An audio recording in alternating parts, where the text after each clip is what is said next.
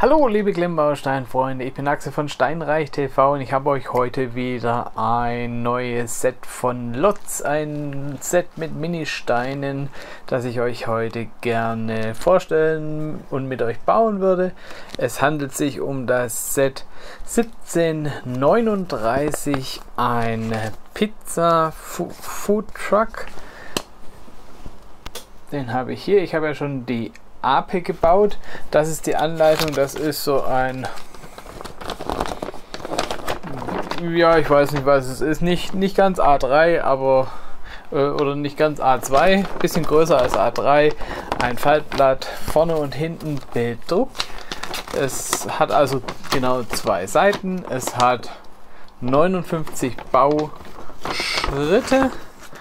Es ist nicht in Bauabschnitte unterteilt. Es äh, sind ungefähr immer so 500 Teile, wenn ich mich nicht täusche. Und ähm, das, da hat Lotz keine Bauabschnitte.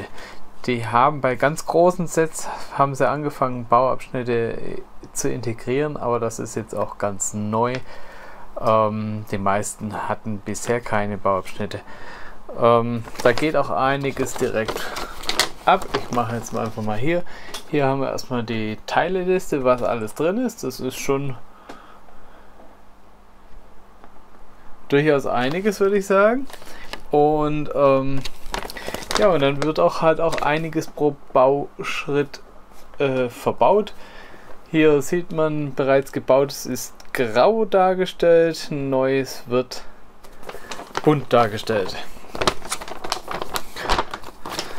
Wir haben ein paar bedruckte Teile, aber wir haben in erster Linie Aufkleber. Ob ich die dran mache oder nicht, das weiß ich noch nicht. Wahrscheinlich nicht. Ich schaue mir das einfach an, wie das Set aussieht. Und wenn es auch ohne äh, Aufkleber ganz gut aussieht, dann lasse ich die Aufkleber weg. Lots Mini-Steine sind von, äh, von den Dimensionen her circa 30% kleiner als normale Lego-Systemsteine, ähm, sind aber von den Dimensionen her, also von, der, von den Verhältnissen her, exakt so wie die Lego-Steine. Also sind wieder Plates sind ein Drittel hoch von den äh, Bricks und und äh, das Seiten- und Höhenverhältnis stimmt immer überein mit dem, was äh, Lego so macht, beziehungsweise die ganzen alternativen Hersteller. Es ist also nicht so wie bei den Nanosteinen, die noch kleiner sind und aber auch äh, andere ähm, Seitenverhältnisse einfach haben. Also theoretisch könnte man eigentlich alles, was man mit den Ministeinen baut, auch mit den großen Steinen bauen und auch andersrum, wenn es die jeweiligen Steine denn in dem jeweiligen Format gibt, was nicht unbedingt gesagt ist. Aber jetzt würde ich sagen, wir fangen einfach an, das Set zu bauen und äh, ich melde mich dann einfach wieder.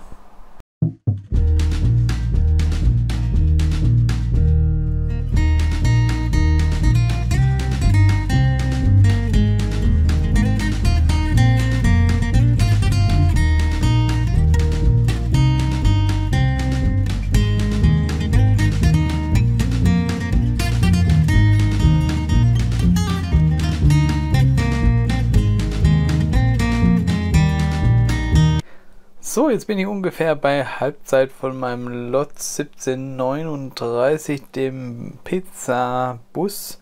Wobei ich jetzt hier sagen muss, ähm, das ist doch ein Burger oder sowas, das ist doch keine Pizza.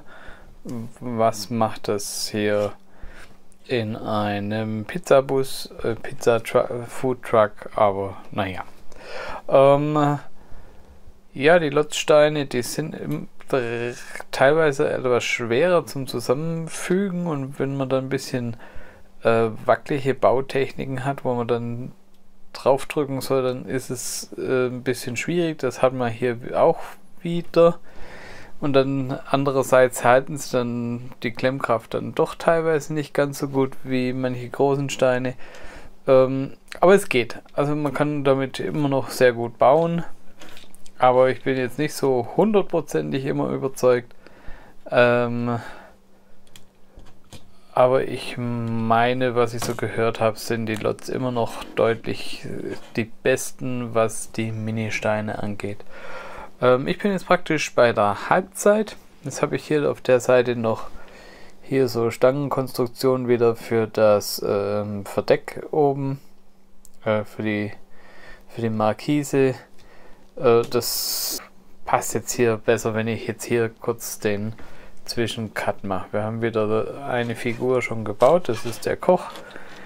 Der steht hier, wie, wie man es äh, von diesen neuen Lotz-Figuren kennt. Der kann die Beine abknicken, die, die Knie können sich ein bisschen bewegen, was ganz cool ist. Um, also mit denen kann man echt äh, auch wirklich spielen, auch wenn sie natürlich sehr klein sind.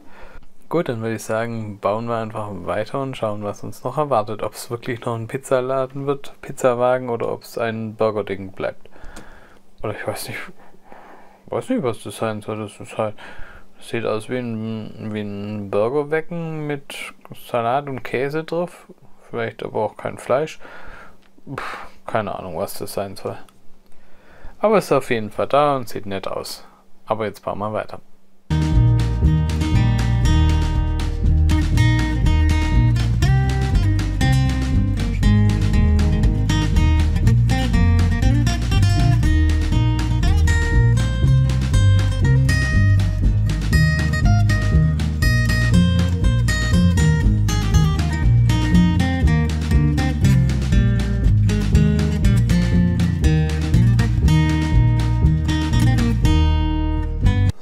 Bin ich fertig mit dem Lotz Mini 1739. Ich habe mal wieder keine Aufkleber aufgebracht. Die habe ich noch alle hier. Das ist ein ganzer Schwung, aber hier draußen fehlen eigentlich nicht viele. Klar, hier hat man auch wieder die Karten hingeklebt und sowas. Und hier steht Pizza Time drauf, oben über dieser hier über der Markise und so. Aber das fehlt mir nicht. Ich denke, man erkennt es eigentlich ganz gut, was das sein soll. Hier haben wir ein kleines Außentischchen mit einer Pizza drauf. Das ist ein Druck. Wie gesagt, ich habe keine Aufkleber aufgebracht. Mit einer Kundin. Hier Pommes dabei. Pizza und Pommes, naja gut, wer es braucht. Und eine Tasse. Um, hier oben haben wir Pizzaschachteln drauf, da gehört auch wieder ein äh, Aufkleber drauf. Die sitzen hier Logo drin, da ist kein, keine Noppe. Ähm, das kann man hier vorne abmachen, das ist nur auf ein paar Noppen drauf. Das hier, Währung, genau, das kann man hier so aufklappen, das hat hier so eine Funktion. Hier drin haben wir unseren Koch und Messer und Schraubenschlüssel und irgendwelche Spender und ja, halt so, was man alles hat hier. Das ist eigentlich ganz cool gemacht. Obendrauf natürlich die Pizza. Hinten haben wir auch noch eine Klappe, die man aufmachen kann. Die Türen kann man theoretisch aufmachen. Genau, was kann man noch machen? So, und dann haben wir hier diese diese Markise, die finde ich ganz cool. Schon mal die Hand wechseln. Dann kann man nämlich hier die hochdrehen und dann sieht man hier mehr, was der hier hinten hat. Also der kann nur auf beiden Seiten bedienen, ist ein bisschen unpraktisch, aber naja, und dann kann man es auch wieder runterdrehen, dann haben wir wieder ein bisschen Schatten. Ähm, Warum das jetzt auf beiden Seiten offen ist und nicht so nach einer Seite gerichtet ist, äh, weiß ich nicht, aber ich finde es eigentlich eine coole Idee hier, dieses, dieses, äh, diese Markise. Das könnte ich jetzt noch ein paar Mal machen. Also, das ist das und ja, so, so sieht es dann aus, unser Pizzamobil. Ähm, ja, auch die Fensterscheiben sind ziemlich gut in der Qualität. Da ist ein, ich sehe keine Kratzer. Ähm, also Qualität der Steine ist einwandfrei. Ähm, die Konstruktion ist manchmal ein bisschen abenteuerlich. Es hält nicht alles so hundertprozentig. Hier diese die Stoßstange da unten, die hat man gern mal in der Hand, wenn man da dran langt und so. Und die, die Räder rollen jetzt nicht besonders gut. Die schleifen hier ein bisschen. Da ist der Abstand zum Radkasten sehr gering. Äh, ja, wer da Wert drauf legt, der muss sich wahrscheinlich ein anderes Set kaufen. Aber sonst, mir gefällt es, ist er wieder ein süßer, kleiner, netter äh, Foodtruck. Passend zu meiner Fruchtape, die ich neulich gebaut habe. Die passen natürlich wunderbar zusammen. Was haltet ihr denn von diesen kleinen Modellen? Ist das was für euch oder bleibt ihr lieber bei den großen normalen Steinen? Ich bin noch nicht ganz schlüssig, ob ich da so hundertprozentig glücklich bin mit diesen kleinen Steinen. Es ist mal eine nette Abwechslung, aber für mich äh, bleibt die, bleiben die großen Steine das Maß aller Dinge. Aber das Ding hat natürlich einen Vorteil, es braucht viel, viel, viel weniger Platz als ein entsprechendes Stein, äh, entsprechendes Modell in normal großen Steinen. Aber wie gesagt, was haltet ihr davon? Schreibt es mir gerne in die Kommentare, würde mich freuen. Äh, genauso freue ich mich natürlich noch viel mehr oder genauso über einen Daumen nach oben oder gar ein Abo, das wäre super. Ich sage dann Tschüss, bis zum nächsten Mal. Euer Axel von Steinreich TV.